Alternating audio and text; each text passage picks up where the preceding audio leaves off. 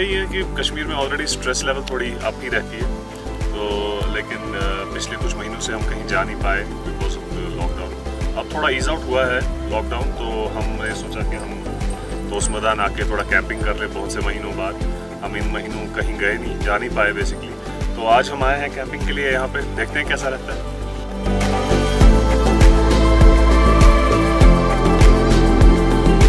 Experience बहुत अच्छा है रिच होता है आपका, जो है बहुत सारी चीज़ें जो आप एक्सप्लोर करते हैं, जो वीडियोज़ होते हैं, या जो बहुत सारी ऐसी अनएक्सप्लोर्ड जगह है जहाँ पहुँचना मतलब वैसे पॉसिबल नहीं होता है। तो उन जगहों पे जाना एक अलग सा फील होता है, अलग सा हाई फील होता है और एक सुकून सा मिलता है।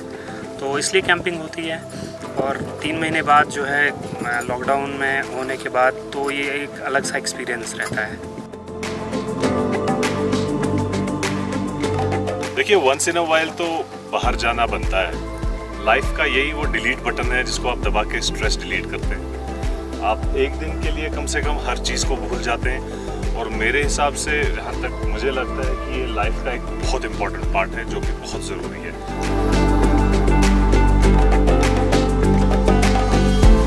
हम हर साल कैंपेन करते रहते हैं और इस साल जो है लॉकडाउन की वजह से नहीं हो पा रही थी। अब थोड़ा ईज डाउन होने के बाद जो है हम बहुत सारी जगहों को जो है एक्सप्लोर करेंगे और फ़िलहाल हमने स्टार्ट किया है इस मैदान से अगले और जो है और जगह और हम एक्सप्लोर करेंगे। हर साल हम करते रहते हैं ये सब चीज़ें।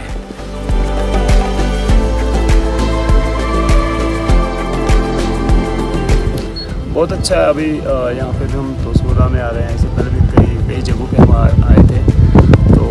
यहाँ पे कल से हम आ रहे हैं कल से यहाँ पे बैठे हुए हैं। तो यहाँ पे काफ़ी अच्छा लग रहा है, क्योंकि ये तो अगर इसको कंपेयर करेंगे ना, इसको गुलमर्ग या बाकी जगहों के साथ अगर इसको कंपेयर करें तो जो नेचुरल ब्यूटी है यहाँ पे, वो बहुत ही अच्छी है।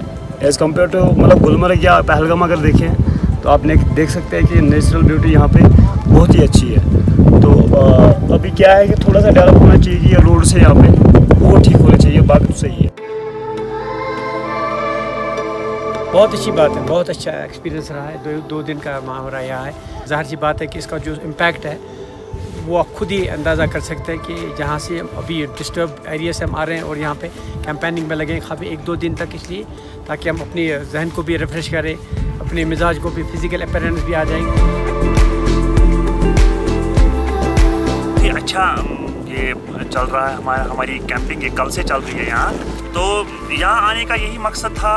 दोस्त मैदान के मेडोज जो है इनको देखेंगे क्योंकि लॉकडाउन की वजह से घर में फंसे थे तो इसलिए हमने यहाँ ये प्रोग्राम बनाया था आज। बहुत अच्छा लग रहा है हमें। क्योंकि पूल है यहाँ पे कोई भीड़ भाड़ भी नहीं है। आराम से रह रहे हैं कोई टेंशन नहीं है।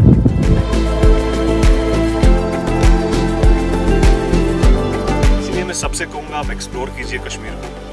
Even most of the Kashmiris they have not explored Kashmir fully मैं उनसे भी कहता हूँ, आप पूरी तरह एक्सप्लोर कीजिए, बताइए लोगों को, दिखाइए लोगों को कश्मीर कितना खूबसूरत है सच में। Nishat garden, Shalimar garden Mughal garden picnic spots तो सभी जाते हैं। लेकिन बहुत कुछ है एक्सप्लोर करने के लिए, आप आइए।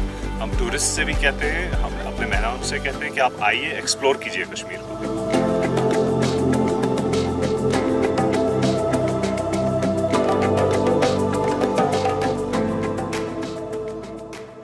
Subscribe to our channel and push the bell icon to get video notifications on your smartphone.